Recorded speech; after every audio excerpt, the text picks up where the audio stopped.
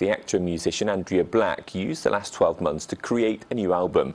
The performer from Brentford says the timing of the release as we emerge from lockdown couldn't be better to reflect the music she's written.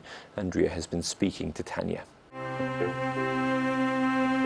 Love draws me in to the physical, the spiritual, while diamonds shine So it's my pleasure to welcome to the show Andrea Black, uh, who's done a lockdown session, and we're going to chat, aren't we, Andrea? How are you? Yes, we are. Thank you ever so much, Janice, for inviting me to the show. pandemic. And this week, uh, our fabulous singer-songwriter Andrea, Andrea Black, she creates story-driven songs with the flamenco-style guitar. I'm delighted to say Andrea joins us now. Way, Andrea, I have to say, I was very fortunate for my main mentor to be John Lee Hooker.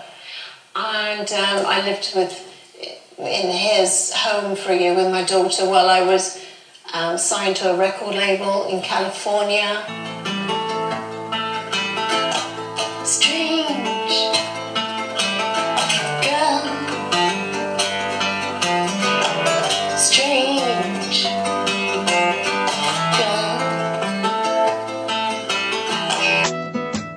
She took a tablet and she ran along back. The book she was reading was secondhand. She was surrounded by redwood trees. Boulder Creek, Boulder Creek, jumping teeny beanies four feet tall.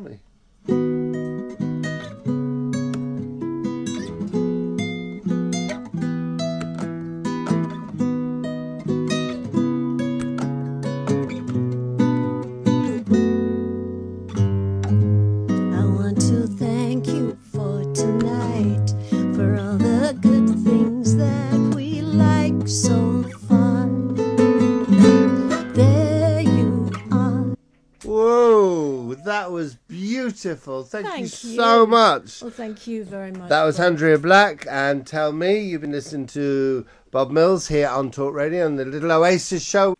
Harvest Gold is your new album, and uh, we're going to play Yeah. a track now. And this is what you've done in a lockdown session for us, and we're, uh, you know, completely grateful. Andrea Black, and I want to be the one.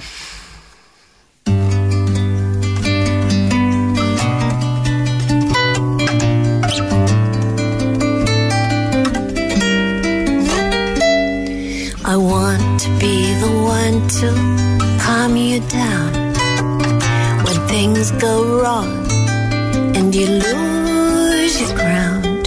I used to be so insecure and weak.